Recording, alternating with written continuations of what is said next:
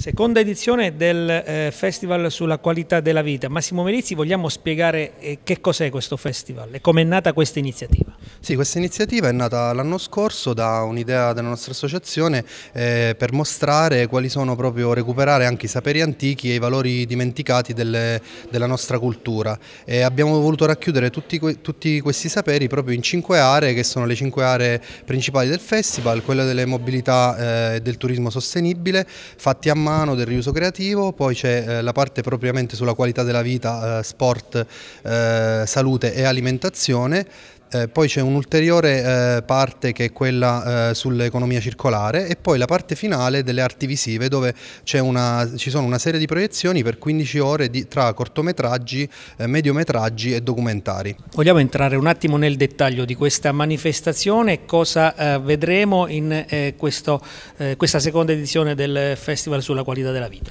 Ecco, vedremo il verbo giusto perché una delle aree che stiamo maggiormente curando è quella delle arti visive. Ci sarà nella sala Tosti all'interno dell'Aurum una tre giorni di proiezioni, documentari, web serie in anteprima, eh, prime visioni in Abruzzo. Mm, ci premo a dire che eh, Pino Zac, I fiori del male, è un documentario sulla satira eh, sull'Italia negli ultimi anni che per la prima volta viene proiettato in Abruzzo in una sala. E noi siamo veramente onorati che verrà il regista e verranno dei, dei, dei fondatori di Il Male, questa rivista eh, arcaica italiana come Mannelli, Zarrolli. si parlerà di Pino Zac ma soprattutto si parlerà di libertà perché la qualità della vita comincia soprattutto dalla libertà individuale.